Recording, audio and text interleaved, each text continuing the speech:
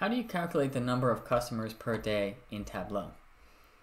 In this example, I have the count of customers for each day and a reference line for the average. There are 8.09 customers per day on average.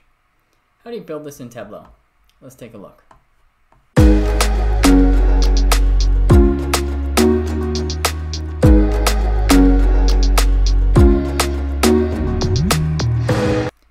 I've added a new sheet and I have a bar chart of count of customer name by date. In order to get the average number of customers per day, I'm going to create a calculated field. I'm going to use a level of detail calculation. So let's call this count of customers. You can do it a couple different ways.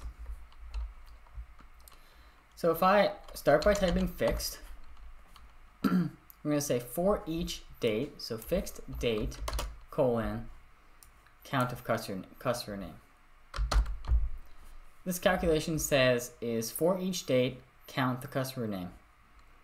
I'm going to wrap that with average.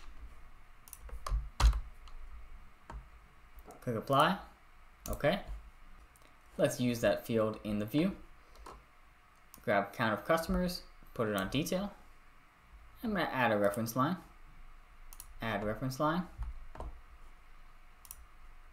I'm to choose count of customers and make it a dotted line. Click OK. That dotted line is still there. What's great about fixed calculations is I don't need date to be available in the view to get that value. So I can remove date and bring count of orders to text, remove customer name, and I get 8.8.